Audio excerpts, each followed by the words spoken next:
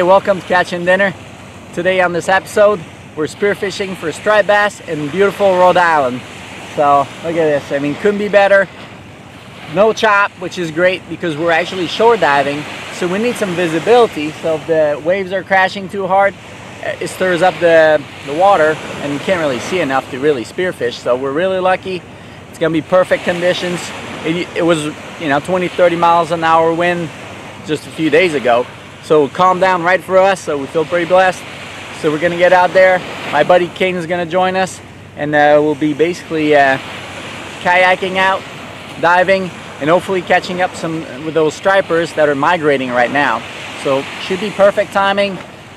usually is mid-June is a good time in Rhode Island as they come up the coast as the water warms up. They're following the water up all the way to Massachusetts and even further up the coast. And uh, eh, hopefully it works out, but we're pretty hopeful. Should be just perfect.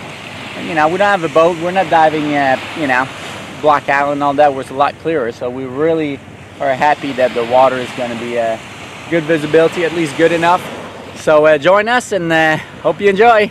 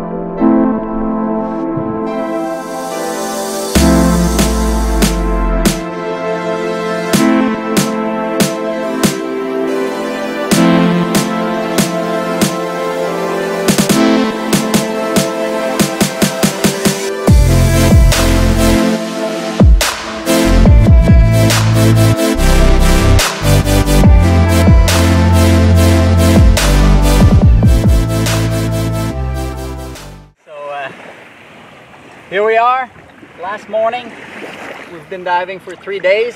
And working uh, hard. Yeah, working really hard. We saw a lot of shorts. I mean, they're everywhere. We saw thousands. But, I mean, these were hard to find. Those are just slightly above 30. I mean, we didn't measure them, but definitely not 34. That uh, you have to cut the pectoral fin. That's the case. So yeah, long story short, it was just an awesome trip. And uh, this morning we worked hard for hours, couldn't get on some big ones. And then in the last 15 minutes, we're on our way back. Shot them within five minutes of each other. yeah, boom, boom. And that's just the way it goes. I mean, when they're here, they're here. And we've limited out every day, you know.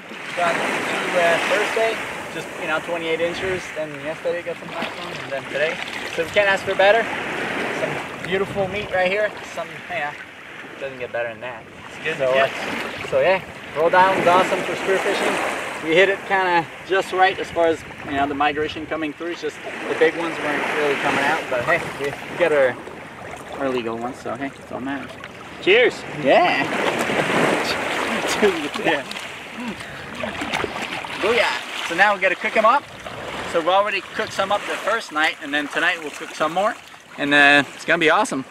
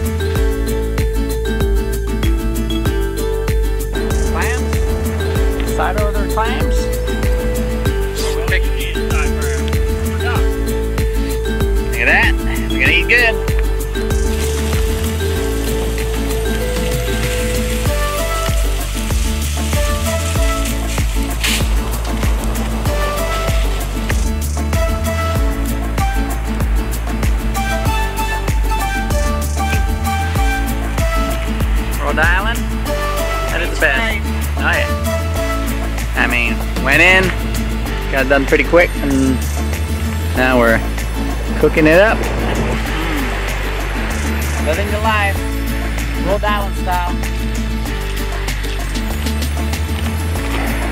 Jeez.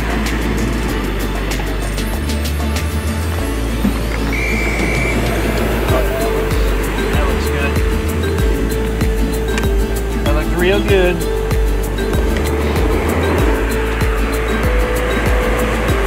Oh yeah. That's right. Yeah. Have at it.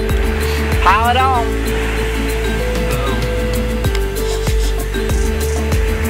Kane's gonna give us his verdict. First one to try. It's pretty good. Sure does. Lake bass with pepper jack, coleslaw. You got a winner. Hey, can't go wrong. Fresh fish, you know, straight from the ocean. I mean, just an hour ago, we're still swimming in this cold water. So uh, we're all about to dig in. Just figured it came the honor since he just cooked it up. So hey, booyah. Look at that. Side of clams, the striper. I think doesn't get more uh, Rhode Island than this in June. Tell me about it. Striper migration coming through. These are all perfect size too. And uh, yeah, can't beat it. Cheers. The way we roll little side of uh, tomato salad of some sort. Tomato mozzarella. Yeah, mozzarella. Mm. So hey, Delicious. on this note, we gotta eat. Lucky girl.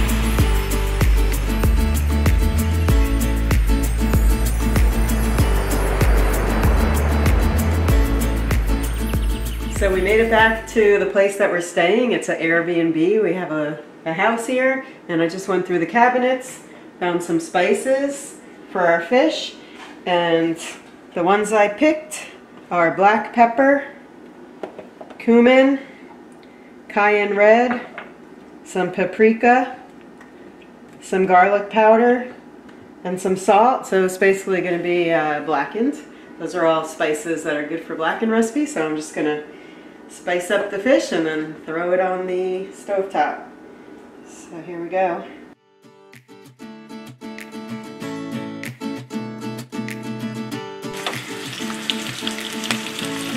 Okay, just threw the fish on. Cooking her up.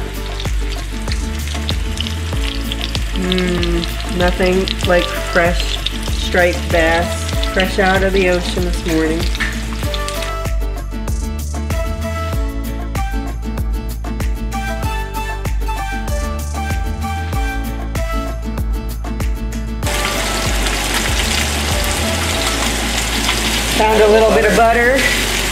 In the fridge, so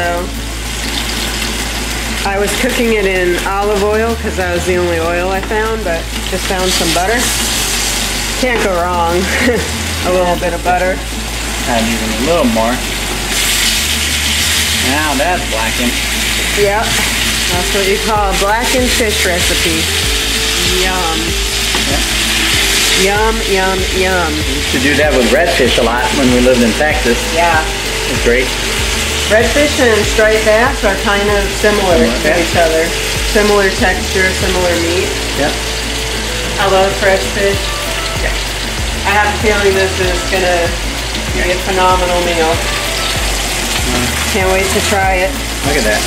Look, uh, Mmm. it's the way it should be. I mean, nice and blackened. My Got melt in your mouth. my mouth is watering. An hour ago, that fish was still swimming. Still swimming. So, uh, okay, look at that. Now I'm beyond hungry, so let's just put this bad boy on our bread and I uh, think it's done. yep. So we got some rolls. I'm gonna cut them in half, Yeah. like that. Oh, And then the easiest thing to do the plastic. Uh, I'll go this way with the green. And then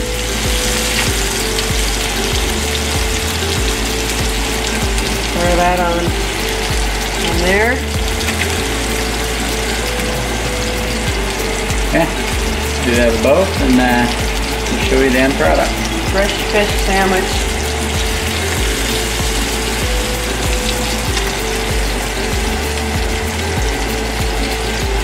And it's something about being able to go and do it yourself. You know, go out and get this delicious fish and be able to provide for yourself. That's what I want to encourage people, the channel.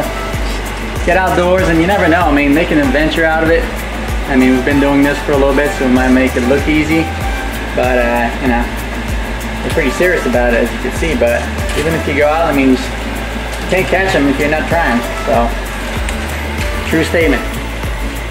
So we have some pepper jack cheese. And that's all One slice left. so we're gonna make do here. So But I'm still, just gonna slap that on. yeah, we got a little mayo, and that should do it. Do you want potato chips on there? Nah. Sometimes we do that. We'll put potato chips, but uh, for this, I think this is gonna be just fine like that. Okay. At least for me. I want to really be able to taste the fish, in that, that way All right. you will. There she is. Two fresh striped bass sandwiches. The moment of truth I get the first bite. looks mighty good. I only imagine how good it tastes. Mmm. Wow. Yeah, I mean, we do miss our uh, saltwater fish because where we're in Colorado, we just don't get this kind of mm. fresh saltwater fish. And, you know, striper is great. Get all the red meat out. I mean, it's phenomenal. I hear some people say that striper is just all right, but I don't know. I'm here to mm. tell you. Striper stays great. Okay. Stephane's turn to try. Look at this. See what he thinks. I mean, Let me zoom in on that bad boy right there. this is no Long John Silver. Mm. I mean, this is catching dinner at its best. How'd I do?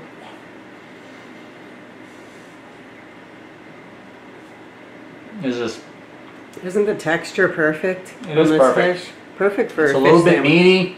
It's not soft by any means, and uh, No fishiness at no, all. mm. and it's just so white and flaky. It's just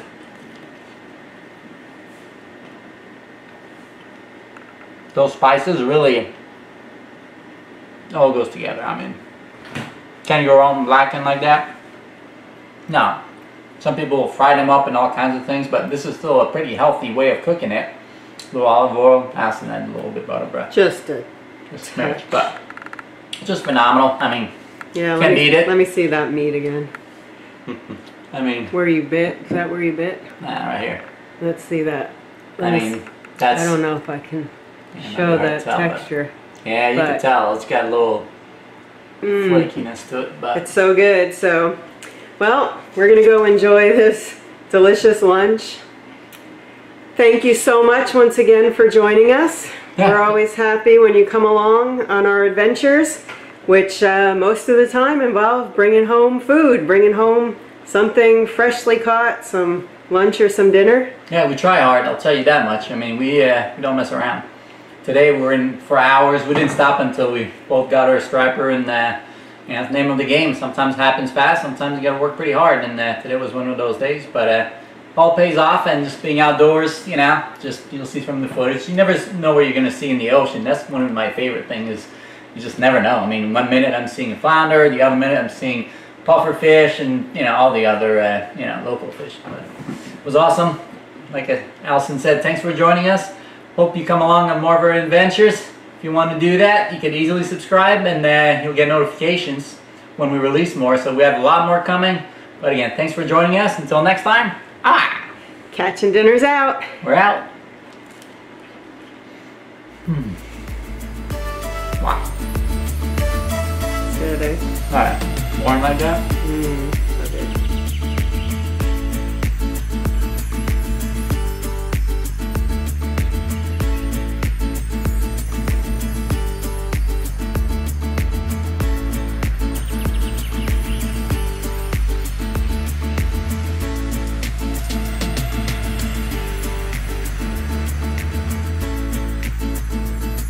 They speared them. Yeah, yeah, yeah. Something can be challenging. Yeah, it's harder than regular fishing. You have to dive down. This.